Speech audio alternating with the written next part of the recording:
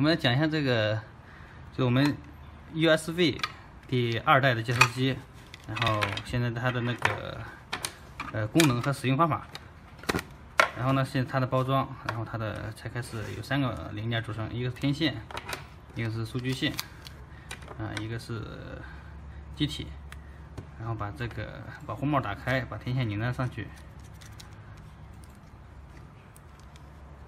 然后这根线呢是有方向的，两个两边是一样的头，但是呢上面图案不一样，有一端带一个箭头，有一端带一个 USB 座。带箭头的呢这一个方向。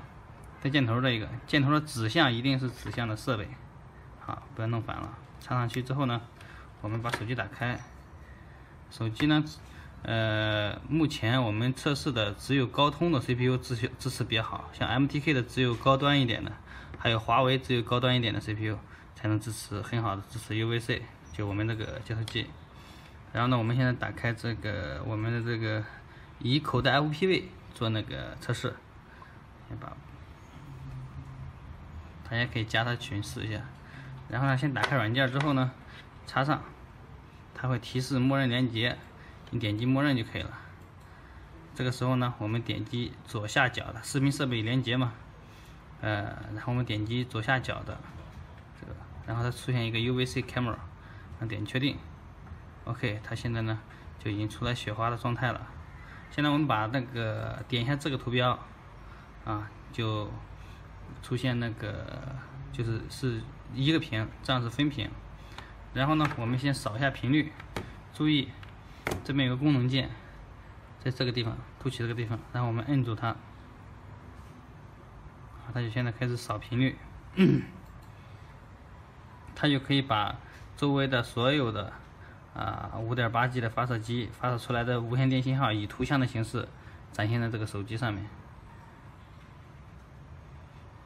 那我们检测两个信号，第一个是这个，第二个是这个，这些是其实些杂波。然后呢，我们看到它现在是五六七三的频率，啊，这是扫频的功能。在扫完频之后，你还可以微调，按这个按键，按一下切两兆。我们总共是一百五十个频段，也是目前所有的接收器里面频段最高的，可以说是无极变频。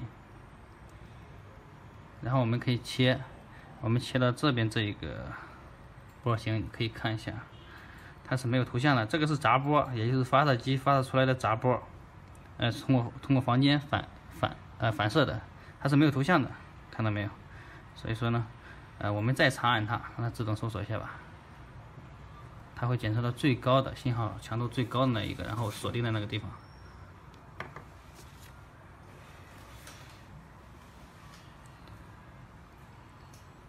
我们搜索的时候要把那个发射机。和那个接接收机保持在五米以上的距离，这样搜索的比较准。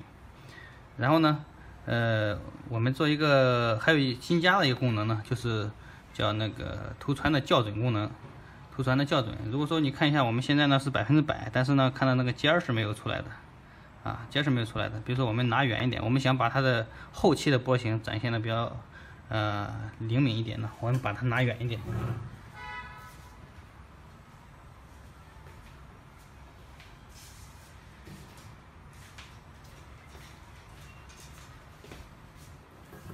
啊，我们拿远了一点呢。这个时候如何去校准呢？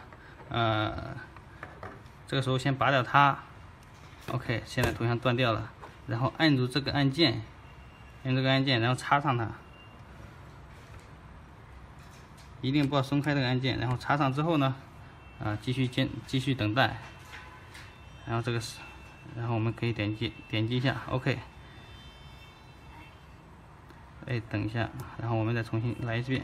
松开太早了，我们插上去，摁住它，现在还不要松手哈，点一下这边，OK，好，进入校准模式，可以看到有四个字，校准模式。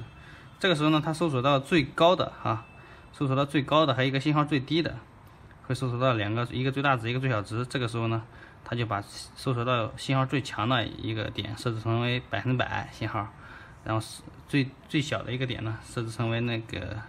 呃，百分之零，这样的话，如果说没有满意的话，你继续长按，还是进还是校准模式，直到你断电为止。啊，你可以看一下刚才这个头刚才这个位置没有没有没有一个波形，现在可以出来一个波形了，出来一个尖了。刚才是拦腰截断了，这说明其实呃百分之是刚才我们设置的那个信号之上是没有信号强度显示的啊，现在是百分之百，看到没有？OK，现在我们感感觉到校准的差不多了，就可以把它断开了。断开了之后呢，我们再重新连上，就可以进入正常模式了。正常模式。点一下刷新这里，点确定，OK，现在是这个样子。然后我们平时的时候呢，摁一下是唤醒这个 OSD 的功能，可以看一下信号强度。然后短按一下是切换，这样的话我们切几下就可能把频率切走了。所以说你平时如果想查看信号强度的时候呢，短按一下就可以了。然后如果说频率想收的话，再长按。OK。长按它有扫描一次，扫描一次大概十几秒钟时间。如果说呢，我们用它来检查飞场的环境的话，就可以把它全部扫一遍，看一下哪个地方没有波形，然后把发射机调到哪个大概的位置。你比如说现在这个五六七三嘛，这个位置大概是五七左右，五七左右，然后你可以调到这个位置，这样的话，就这个位置干扰比较少，可以调到这个位置来。这是当前你自己的。